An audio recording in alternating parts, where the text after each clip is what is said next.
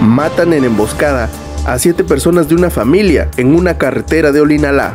Fueron asesinados cuatro hombres y tres mujeres, y heridos tres hombres y una mujer. Dos ataques a balazos en Acapulco dejan herido a un hombre en la costera y a una mujer afuera del Flamingos. Desalojan el Hotel Playa Suite por incendio. Demandan familiares de víctimas de los vuelos de la muerte un informe detallado de la Sedena. Bloquean accesos a Ayutla contra decisión del IEPC de modificar acuerdos de asamblea. Siguen sin solución 300 familias en 18 colonias afectadas por la falla geológica en Chilpancingo. Para más información siga al sur Acapulco.